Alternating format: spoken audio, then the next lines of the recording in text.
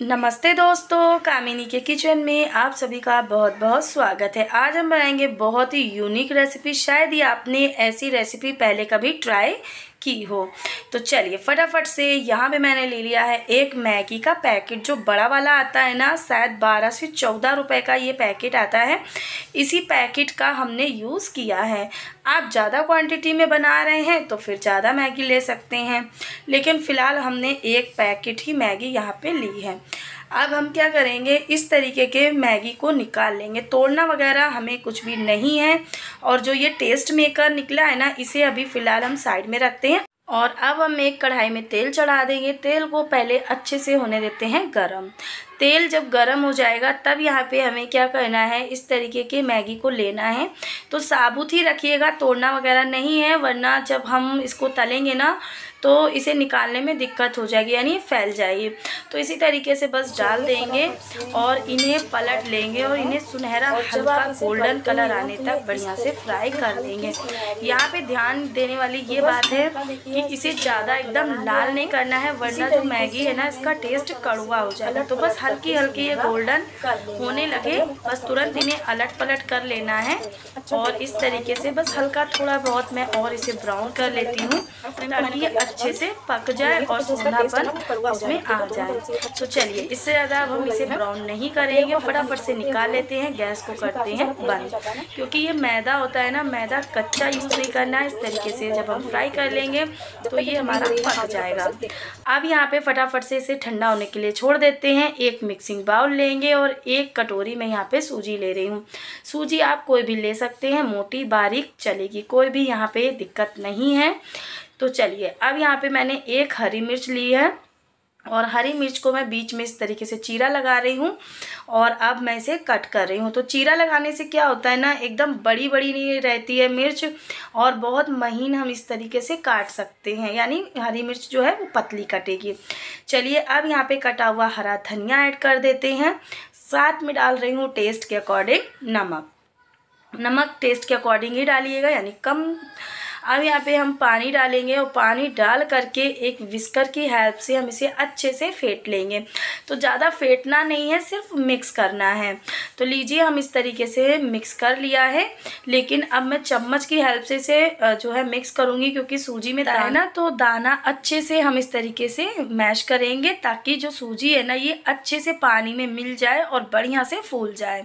तो लीजिए हमने इसे अच्छे से कर लिया है मिक्स तो इसे पतला नहीं रखना है गाढ़ा गाढ़ा ही रखना है। इस बात का ध्यान दीजिएगा। अगर पतला रखेंगे ना तो रेसिपी बनाने में काफ़ी ज़्यादा टाइम लगेगा। तो देखिए, इस तरीके से गाढ़ा ही रखना है। अब यहाँ पे हमने ले लिया है एक इनो का पाउच। तो फ्रेंड्स मैंने दो दिन पहले ढोकला की रेसिपी डाली थी तो उसमें मैंने आधा इनो डाल दिया था और आधे से भी कम इसमें बचा हुआ है। ये देखिए बहुत ज़्यादा एक चुटकी इनो बचा हुआ है। तो वो इनो मैं यहाँ पे ऐड कर रही हूँ। इनो डालने से जो हमारा नाश्ता है ना, ये काफ़ी फ्लफ़ी बनता है और बहुत ही ज़्यादा टेस्टी बनता है। बहुत ही नई रेसिपी है फ्रेंड्स आप वीडियो को पूरा देखिएगा, आपको मज़ा आ जाएगा। तो चलिए इनो को भी हम अच्छे से मिक्स कर लेते हैं ताकि ये जो है ना एक्टिवेट हो जाए। और अब जो हमारी मैगी हमने तल करके रखी थी ना, ये भी अच्छे से हो गई है ठंडी। तो इसे भी हम हाथों से इस तरीके से क्रश कर लेंगे, यानी बारीक कर लेंगे। और बहुत ही मज़ेदार फ्रेंड्स ये रेसिपी है। आप एक बार मेरे कहने से ट्राई ज़रूर कीजिएगा। ना रेसिपी पसंद आए तो कहना। तो चलिए, फटाफट से हमने इस तरीके से हाथों से इसे मैश कर लिया। जितना बारीक हो सके कर लीजिएगा। और अब हम फटाफट से जो ये मिश्रण है ना, इसमें ये मैगी ऐड कर देंगे। तो इस तरीके से हम मिक्स कर देंगे। तो लीजिए, हमने अच्छे से मिक्स कर लिया है, लेकिन जैसे ही हमने इसमें मैगी को डाला ना तो मैगी ने भी काफ़ी पानी एब्जॉर्व कर लिया है, यानी मिश्रण हमारा ड्राई लग रहा है। तो अब हम क्या करेंगे? थोड़ा सा पानी इसमें डालेंगे उसकी कंसिस्टेंसी को मेंटेन कर लेंगे यानी जैसा ये पहले था बस उसी तरीके से हमने बना लेना है। तो लीजिए हमने थोड़ा पानी डाल करके इसे बढ़िया से मिक्स कर लिया है। अब इसमें एक का आ गया है। तो चलिए अब हम फटाफट से गैस पे एक पैन चढ़ा देते हैं और पैन को हम पहले ग्रीस कर लेंगे। तो ज़्यादा तेल नहीं डालना है सिर्फ़ आप देख सकते हैं मैंने ब्रश की हेल्प से इसे ग्रीस किया है। अब हम फटाफट से जो हमारा मिश्रण है ना, जिसमें हमने इनो डाला है, उस मिश्रण को इसमें फटाफट से डालेंगे। तो प्रोसेस हमें यहाँ पे जल्दी जल्दी करना है। फ्रेंड्स अगर आपके पास इनो ना हो तो आप बेकिंग सोडा ऐड कर दीजिएगा। आपका काम बहुत इजीली हो जाता है। तो लीजिए, हमने सारा मिश्रण इस तरीके से इसमें डाल दिया है।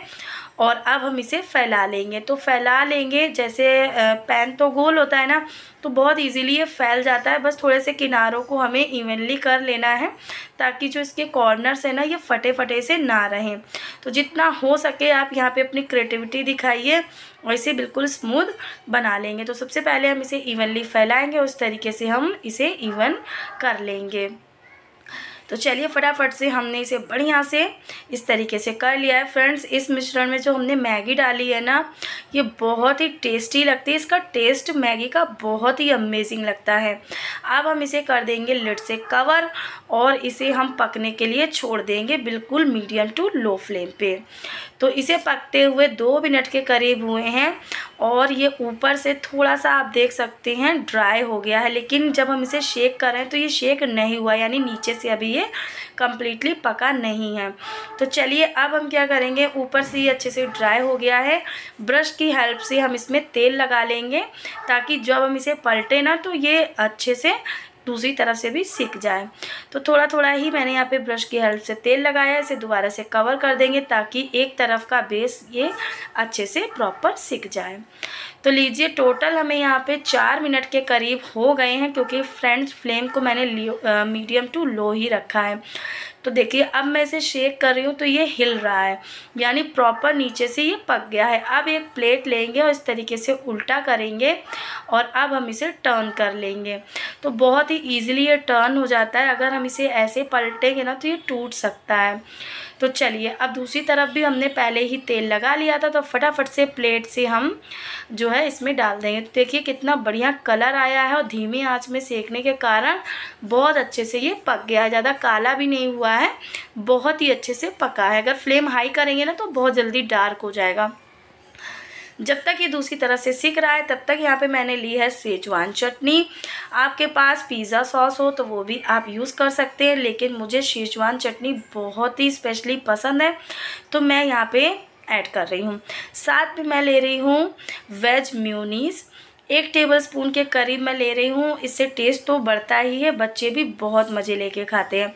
साथ में आधा टेबल स्पून में डाल रही हूँ टोमेटो केचप आधा टेबल स्पून मैं डाल रही हूँ ग्रीन चिल्ली सॉस। चलिए, अब जो हमने मैगी का टेस्ट मेकर अलग रखा था ना, बस उसे भी हम इसी स्टेज पे ऐड कर लेंगे। तो जो मैगी का टेस्ट मेकर होता है ना, इसका फ्लेवर बहुत ही अच्छा लगता है। आप इसे अगर सूखा भी खा के देखेंगे ना तो काफ़ी अच्छा लगता है खाने में। तो चलिए, इन सॉसेज में हमने जो मैगी का टेस्ट मेकर डाला है ना, इससे इन सॉसेस का टेस्ट तो बढ़ गया। ये एक हाई लेवल की सॉस भी बनके बिल्कुल तैयार है। बहुत ही टेस्टी ये सॉस बनी है। तो चलिए, अब यहाँ पे हमारा जो बेस है ना, वो भी बढ़िया से दूसरी तरफ़ से सीख गया है। और अब हम क्या करेंगे, ये जो सॉस बनाई है, पूरी सॉस को हम इसके ऊपर अप्लाई करेंगे। तो ज़्यादा सॉस मैंने नहीं बनाई है, सिर्फ़ इतनी ही बनाई है कि इसके ऊपर अच्छे से हम अप्लाई कर सकें। तो फ्रेंड्स इस सॉस का कलर देखिए और इसका जो टेक्स्चर है ना, ये भी देखिए। खाने में बहुत टेस्टी लगती है। अगर आप इस तरीके से सॉस बनाएँगे और सैंडविच में भी लगाएँगे ना तो भी बहुत ही ज़्यादा डिलीशियस ये लगेगी। तो चलिए, पूरी सॉस को मैंने अप्लाई कर लिया है, यानी इसके ऊपर। और अब हम इसे अच्छे से फैला लेंगे। तो लीजिए, हमने इसे बढ़िया तरीके से फैला लिया है ताकि अच्छे से ये इसके ऊपर लग जाए। तो अब यहाँ पे मैंने लिया है चीज़। तो यहाँ पे मैंने स्लाइस वाला चीज़ लिया है। आपके पास क्यूब वाला चीज़ हो, मोजरेला चीज़ हो, जो चीज़ हो आप यूज़ कर सकते हैं। स्पेशली मुझे ये वाला चीज़ ज़्यादा पसंद है क्योंकि खाने में ये बहुत टेस्टी लगता है। अगर मोजरेला वाला चीज़ हो तो वो भी आप ऐड कर सकते हैं। तो इस तरीके से मैं छोटे छोटे पार्ट में से डिवाइड कर रही हूँ और इसके ऊपर लगा रही हूँ। तो चलिए, हमने इस तरीके से चीज़ लगा दिया है। कुछ मैं यहाँ पे वेजिटेबल्स लगा रही हूँ। तो ज़्यादा मैं कुछ फालतू के वेजिटेबल्स नहीं लगाऊँगी।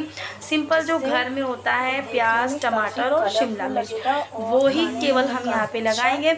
मेरे पास स्वीट कॉर्न था, लेकिन मैंने नहीं लगाया क्योंकि हम बहुत ही सिंपल रेसिपी बना रहे हैं, जो हर किसी के घर में अवेलेबल चीज़ों से बन सके।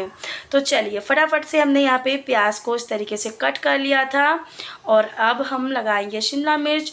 तो शिमला मिर्च भी हम इस तरीके से ऐड कर देंगे। फ्रेंड्स ज़रूरी नहीं है कि आप यही सब्ज़ियाँ लगाएँ। जो सब्ज़ियाँ आपको पसंद हो, गाजर, शिमला मिर्च, मटर डाल सकते हैं। यहाँ पे आप अगर स्वीट कॉर्न है तो वो भी ऐड कर सकते हैं। आप अपनी चॉइस से सब्ज़ियाँ लगा दीजिएगा। तो चलिए, अब यहाँ पे हम टमाटर भी ऐड कर देते हैं। तो फ्रेंड्स मैं आपका सस्पेंस कर देती हूँ। दूर हम बना रहे हैं बहुत ही स्वादिष्ट पिज़्ज़ा वो भी मैगी वाला। जो उसका बेस बनाए ना, वो मैगी से बना हुआ है। यानी सूजी के अंदर हमने मैगी को ऐड किया है। जब आप खाएँगे ना तो एक अलग ही लेवल का टेस्ट आएगा। तो यहाँ पे दो स्लाइसिस मैंने चीज़ ऊपर से ऐड किया है और इसे कर दिया है कवर कवर करके हम बढ़िया से पकाएँगे। तो फ्रेंड्स यहाँ पे मैंने थोड़ी सी ऑरिगेनो सीजनिंग काली मिर्च वगैरह भी ऐड की थी, वो वीडियो स्किप हो गया है। आप यहाँ पे ऐड ज़रूर कर लीजिएगा। थोड़ी सी मैंने यहाँ पे चिली फ्लेक्स भी ऐड की है। तो थोड़ा थोड़ा ज़रूर डाल लीजिएगा। अगर नहीं भी डालेंगे तो सॉस इतनी टेस्टी हमने बनाई थी ना, कि किसी भी और मसाले डालने की ज़रूरत नहीं है। तो चलिए, अब फटाफट से हमने इसे पका लिया है ताकि चीज़ अच्छे से मेल्ट हो जाए और सब्ज़ियाँ भी बढ़िया से कुक हो जाए। तो लगभग पाँच से सात मिनट के लिए लो टू मीडियम फ्लेम पे बढ़िया से हमने पका लिया है। और लीजिए, बहुत ही स्वादिष्ट ये सूजी और मैगी का पिज़्ज़ा बन करके बिल्कुल तैयार है। बहुत ही टेस्टी बना है। फ्रेंड्स, मैं आपको इसका अच्छे से बेस दिखाती हूँ तो देखिए कितना ज़्यादा अच्छे से कुक हुआ है, बहुत ही प्रॉपर और जो हमने इसमें सूजी में जो मैगी डाली थी ना, जब आप खाएँगे ना तो मैगी का जो सोंधापन आएगा ना खाते समय, बहुत ही क्रिस्पी लगेगा। यानी ये जो पिज़्ज़ा बना हुआ है ना, बहुत ही डिलीशियस बना है। एक बार आप मेरे कहने से इस तरीके से बना करके देखिए, हमेशा यही तरीका अपनाएँगे। क्योंकि सस्ते में ही आप घर में बहुत ही यूनिक पिज़्ज़ा बना सकते हैं, क्योंकि बच्चे तो अक्सर पिज़्ज़ा खाने की ज़िद करते ही हैं। और और अपने हाथों से हेल्दी बनाइए, टेस्टी बनाइए और बच्चे बड़े सभी मांग मांग कर खाएँगे। तो देखिए कितना अच्छा बेस हमारा फूला हुआ है और बहुत ही डिलीशियस बना है फ्रेंड्स और सब्ज़ियाँ भी अच्छे से पक गई हैं। चीज़ भी बढ़िया से हो गया है मेल्ट। तो देखिए फ्रेंड्स, पीछे से भी देखिए कितना ज़्यादा ये अच्छे से पका हुआ है। और जो इसके अंदर मैगी है ना, जब आप खाएँगे ना तो आप खुद ही फील करेंगे। मेरे बताने से तो आप उतना नहीं फील कर पाएँगे, लेकिन जब आप बना करके खाएँगे ना तो आपको खुद ही मज़ा आ जाएगा। और इसके किनारे आप देख सकते हैं कितने बढ़िया सिके हुए हैं। तो चलिए, बहुत ही टेस्टी ये मैगी वाला पिज़्ज़ा बन करके बिल्कुल तैयार है। तो फ्रेंड्स आई होप आज का वीडियो आपको पसंद आया अगर वीडियो पसंद आ रहा हो तो प्लीज़ मेरे चैनल को लाइक करिए, शेयर करिए, सब्सक्राइब करिए, क्योंकि मैं आपके लिए बहुत ही यूनिक और नई रेसिपीज़ लाती रहती हूँ। तो मुझसे तो नहीं हो रहा है कंट्रोल मैं तो चली इसे खाने गर्मा गर्म वाओ बहुत ही सुपर टेस्टी बना है फ्रेंड्स, बहुत ही ज़्यादा सुपर टेस्टी। तो फ्रेंड्स, अगर आपको ये रेसिपी अच्छी लगती हो तो प्लीज़ कमेंट्स ज़रूर करके बताइएगा। तो तब तक के लिए फ्रेंड्स, मिलते हैं अपने नेक्स्ट वीडियो में एक नई रेसिपी के साथ। तब तक के लिए बाय टेक केयर एंड जय हिंद, जय भारत।